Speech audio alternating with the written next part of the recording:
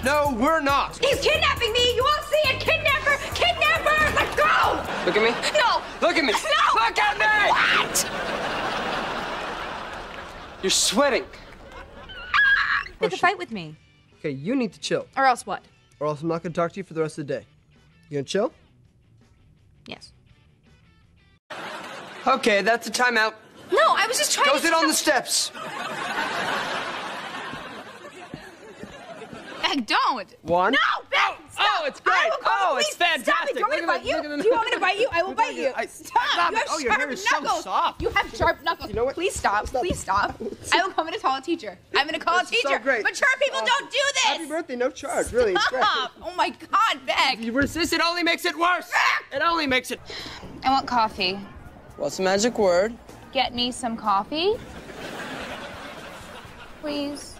Actually, the magic word was lotion, but I'll accept your pleas because you got a boo boo eye. Two sugars. I know what to do. Thank you, Andre and Beck, for handcuffing Jay to the table. No problem. You want to see pain? Hey, why don't we go sit over there? Cat? No, I don't want to ask her.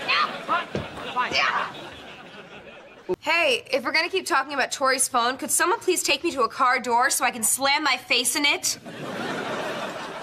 I have a car. Oh.